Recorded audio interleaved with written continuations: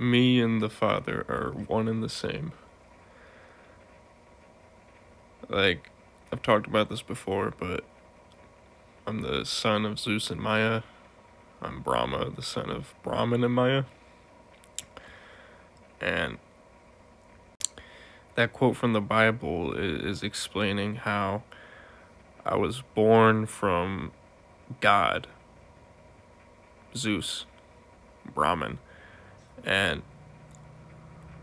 I created everything physical in the universe.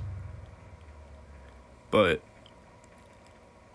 who created me really also created everything in the universe.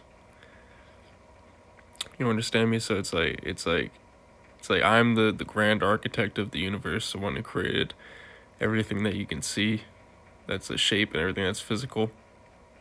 And, and and Zeus was literally just like like the original creation of everything, like like like like the masculine energy of the universe. So when he created so Brahman created and Maya created Brahma, me, and I, I, I hatched out of the the egg and, and created the universe. That's how the story goes.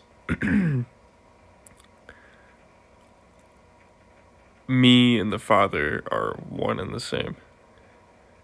Me and the Father.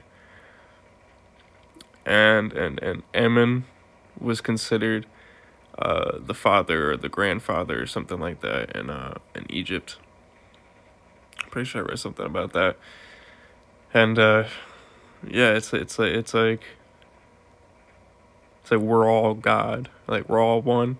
We're all Zeus. Right? We're all Zeus. And, and Zeus created me. And I created all of you. and it's just like we're, we're all one and shit and we're we're all God. And that that's that's the true explanation of literally everything. Everything in the universe is, is that I'm the son of God, Brahma, the son of Zeus, and Zeus is God. Zeus created me and I created everything in the universe.